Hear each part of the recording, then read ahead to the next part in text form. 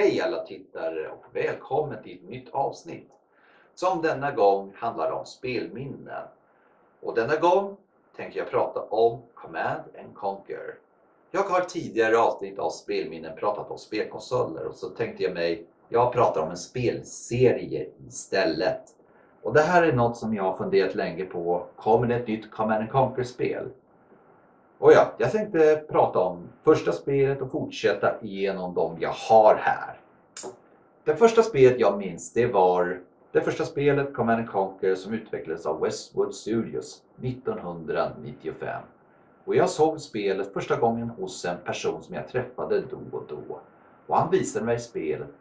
Och jag kände inte till så mycket om PC-spel för jag spelade mest Nintendo och Sega vid den tiden. Och och jag blev förvånad över, wow, är det så här man styr ett spel? Bara peka och klicka med armén och bygga basen och ja. Det första spelet handlar om ett krig mellan Global Defense Initiative, Global Defense Initiative eller GDI mot Brotherhood of Nod i en kamp mot den utomjordiska mineralämnet Tiberium som har kommit till jorden och muterats runt om i världen. Och sen då så kom det andra Command Conquer-spelet, Command Conquer Red alert, som är en spin-off på Command Conquer som utspelas under andra världskriget där Albert Einstein har byggt en tidsmaskin för att förhindra Adolf Hitler att komma till makten. Vilket skapar en alternativ tidslinje att det inte har existerat Tredje riket. Men istället så planerar Sovjetunionen att attackera Europa. Det var ju oväntat det där. Att förändra tidslinjen. Och detta spel var ju annorlunda och jag tyckte väldigt mycket om den. För man kan ju spela skirmish, det vill säga match mot datorn och man kan ju använda enheter på vatten som ubåtar och skepp och, och så här transport som man kan transportera olika enheter. Och, ja, jag gillade det där spelet för det var väldigt snygga videosekvenser där man ser en grupp personer eller en som pratar med spelare vad nästa uppdrag handlar om. Och ja, det spelet spelade jag väldigt mycket. Och senare så kom Command and Conquer Tiberian Sun, uppföljaren till det första Command and Conquer som utspelas i framtiden. Och detta spel har två kända skådespelare. Michael Bean, känd för en av Alien-filmerna, Terminator och The Rock. Och en annan skådespelare är James Earl Jones, känd för rollen som Darth Vader, enbart rösten alltså, och massa filmer.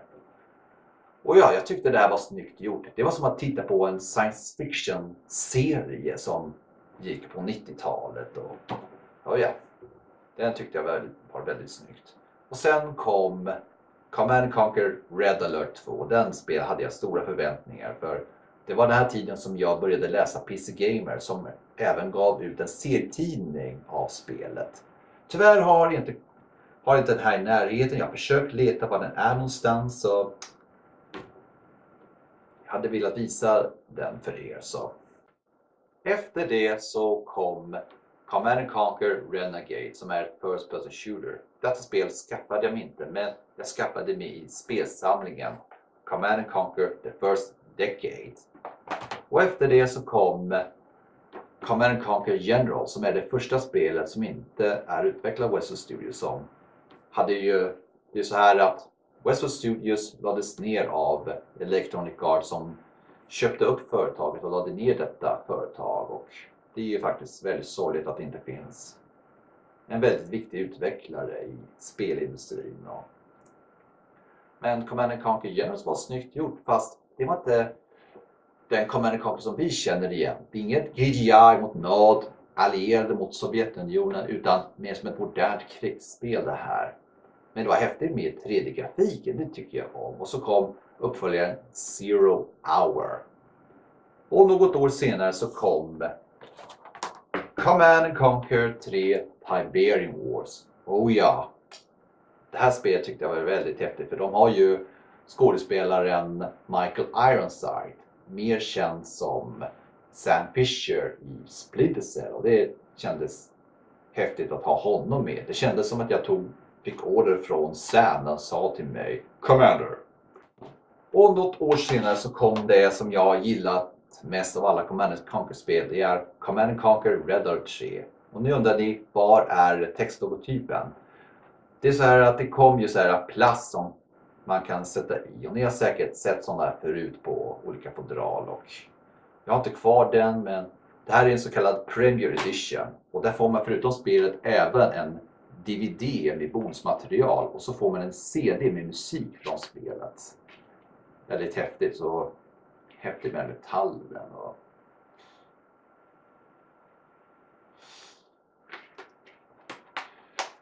Och den har ju många kända skådespelare. Peter Stormare, Tim Curry, George Takei och J.K. Simmons och Jonathan Price är några jag kan nämna. Och så kom den som många inte gillar, som för mig var ett okej okay spel men annorlunda. Command Conquer 4 Tiberium Twilight. Ah, ja, det här ju, tog ju där tog också Command Conquer-spelen slut. Och ja, de hade ju också planer på att skapa ett nytt Command Conquer med titeln Command Conquer Generals 2 som senare ändrade namnet till enbart Command Conquer. Men detta spel lades ner och det var ju faktiskt en trist tid för jag hade stora förväntningar. Så låt oss se om det kommer något Command Conquer i framtiden och så tar vi lite titt på de här spelen jag har här. Det här är Command Conquer till Nintendo 64. Och ja, jag hade inte själva spelet för jag skaffade mig den här eh, Command Conquer. Och ja, den har 3D-grafik som såg väldigt häftigt gjort ut. Men det var lite svårstyrt med handkontrollen faktiskt. Jag hade helst ville ha en mus och bara klicka omkring hade varit bättre. Och så fick jag det här spelet senare av en person som inte har längre ville ha det av någon annan bekant. Så. Och ja, jag har bara Sovjetkampanjen som man kan spela. Bruten tyvärr. Och ja, den var lite svårstyrd tycker jag. Man måste... Men de släppte ett mustillbehör till Playstation. Men jag vet inte om det går att koppla den till Playstation 3 som är bakåtkompatibel för Playstation 1-spel. Och det här är samlingsutgåvan som heter Command Conquer The First Decade. Släpptes 2006. Jag hade gärna velat prata om vissa av de här spelen men tyvärr har det hänt att många av de här spelen har krånglat när man ska använda dem för det här släpptes vid tiden när Windows XP fanns och jag tror den har lite problem att spela på Windows 10. Man måste ladda ner någon patch och jag har ju gått igenom något forum där man måste ändra på kompabilitets någonting. Och jag gjorde ungefär som den här eh, forumet nämnde. Och ja, det är några spel som fortfarande fungerar men någon krånglar. Det var en spel som hängde sig och ett spel som avbröt så det är faktiskt tråkigt. Får väl se. Men de släppte ju en samlingsutgåva till Command Conquer The Ultimate Collection som finns till Origin för 299 kronor kostar det. Det är väldigt billigt. Du får massvis med Command Conquer-spel. Utom ett som heter Soul Survivor. Som var ett sånt här äh, multiplayer-spel där man styr bara en enhet vad jag har läst. Så vad tyckte ni tittare om det här? Och förresten, vi ska inte avsluta än. Vi har äh, de här jag vill presentera. Det här var något som jag köpte på Game Shop. Jag pratar inte om GameStop. Det här var en, från en affär som jag besökte då och då. Och som sålde det här och jag tyckte wow, de här enheterna. Chrono Legendary och Tesla Trooper. Väldigt häftigt. Och den här kepsen, den här fick jag när jag förespråkade Red alert 3.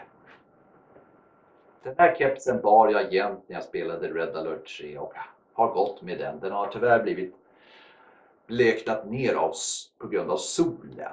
Och jag har ju sett en vän som fick också en likadan keps. Och han har inte använt den på länge. Så vad tyckte ni om det här avsnittet?